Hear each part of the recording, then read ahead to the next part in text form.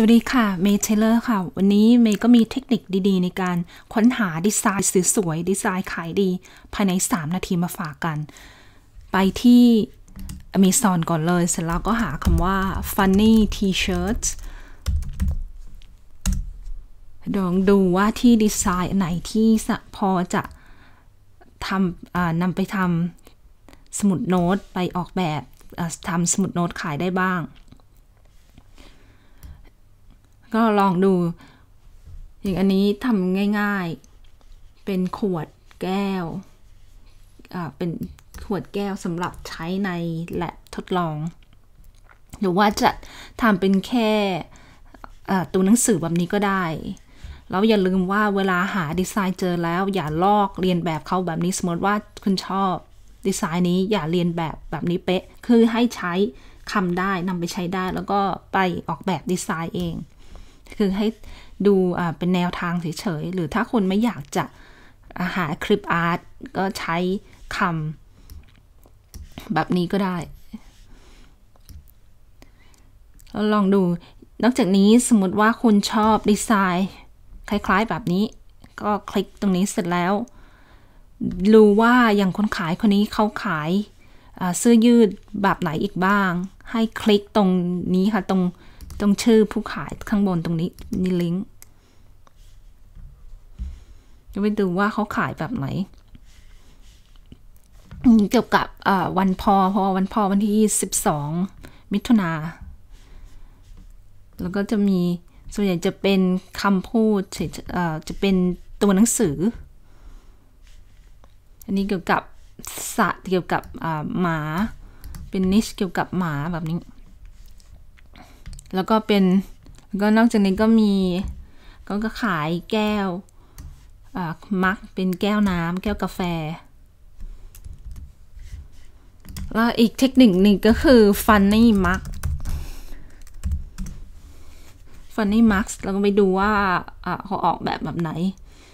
เกี่ยวกับทรัมป์นี่เกี่ยวกับนักการเมืองจะได้ความรับความนิยมพอสมควร แล้วก็ลามา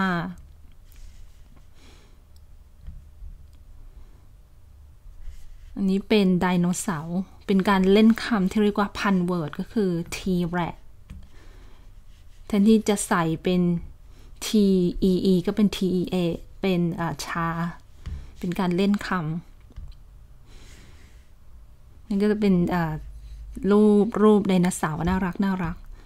ลองหาที่ Pixabay ได้หรือว่าจะ Google คำว่า Open Clip Art หรือว่า Public Domain Clip Art ที่อนุญาตให้ใช้ได้ฟรีสำหรับ Commercial หรือใช้ในการค้า สมมติว่าคุณชอบอดีไซน์นี้ก็อย่าลืมคลิกตรงนี้ คลิกไปที่เข้าไปที่ลิงก์ไปดูสินค้าเสร็จแล้ว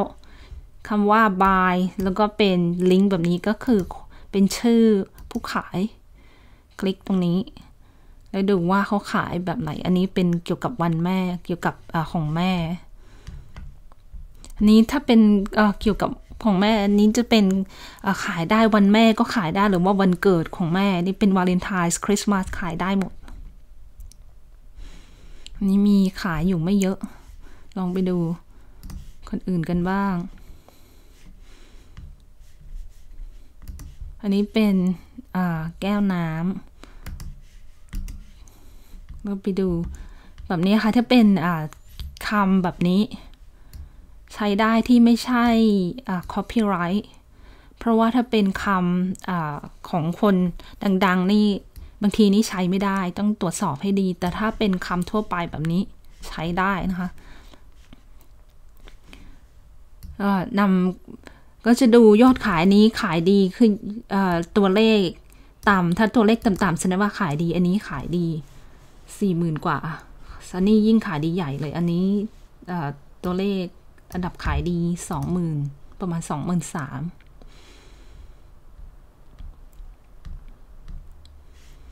อันนี้เกี่ยวกับย่ายายหรือย่าหน้าหน้า ลองดูนะคะ ก็คือใส่คำว่าไปที่หน้าแรกของมิสซอแล้วใส่คำว่า funny t-shirt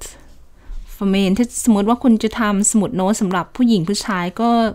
ใส่ไป funny t-shirts for men สำหรับผู้ชาย ก็จะเป็นเสื้อยืดที่รับความนิยมไปดูแรงบ้าง อันนี้ขายดีมากหมื่นสองเป็นแค่เสื้อธรรมดานี้คงก็ใช้ไม่ได้ แต่อันนี้ขายดีมากขายดีอันดับห้าพันหกเกี่ยวกับคนที่ชอบเล่นเกมนั่นเอง ก็ลองทดลองใช้เทคนิคนี้ดูนะคะ ง่าย ๆ นี้ก็จะขอฝาก Facebook Fanpage ของเมย์ค่ะ เพราะว่าถ้าวันไหนที่ไม่มีเวลาอัดวิดีโอก็จะแบ่งปันการเขียนจะแบ่งปันเทคนิคเล็กน้อยด้วยการเขียนบทความอย่างเมื่อวานนี้ก็ไปเจอบทความที่กลุ่มของคุณเจคอบ KDP No Content Publishing ก็คือธุรกิจสมุนโนที่เราทำกันอยู่นี่เอง แล้วก็มีเทคนิคอะไรดี ๆ ที่น่าสนใจมาฝาก แล้วก็จะมีหนังสือแนะนำหนังสือ อันนี้จะเป็นก็จะเป็นบทความที่น่าสนใจอย่างอันนี้เป็นนักเรียนที่ติดตามในทาง YouTube แล้วก็ Facebook ก็เขาขายเล่มสมุดโน้ตเล่มแรกได้ ก็ลองดูนะคะมีบทความอะไรที่น่าสนใจก็มีเทคนิคดีๆ มาฝากเกี่ยวกับธุรกิจสมุดโน้ตค่ะ นอกจากนี้ถ้าคุณต้องการจะ ทำธุรกิจนี้จริงๆจังๆแล้วก็ไม่รู้ว่าจะเริ่มตรงไหนแล้วก็ต้องการเทคนิคการค้นหาตลาดการค้นหา keyword การใส่ keyword ยังไง ถึงจะทำให้สมุดโน้ตขายได้ ก็ไปที่ลิงก์นี้เลยนะคะ มีคอร์สขายเรียบร้อยแล้ว แล้วก็ความยาวประมาณตอนนี้ 3 ชั่วโมงกว่าแล้วนะคะ เพราะว่าทุกเดือนจะแจกวิดีโอโบนัส จะทำวิดีโอโบนัสแจกฟรี แล้วก็มีเนื้อในแจก 7 เนื้อในด้วยกัน คือดูวิดีโอเสร็จ เริ่มต้นธุรกิจวางขายได้ทันที เพราะว่าธุรกิจสมุดโน้นนี้หลังจากคุณ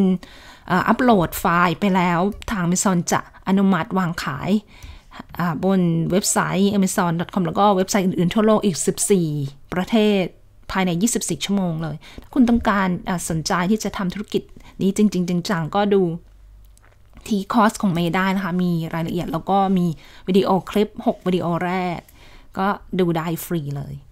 ขอบคุณที่ติดตามสำหรับนี้เมย์ขอลาไปก่อนพบกันใหม่ในโอกาสหน้า สวัสดีค่ะ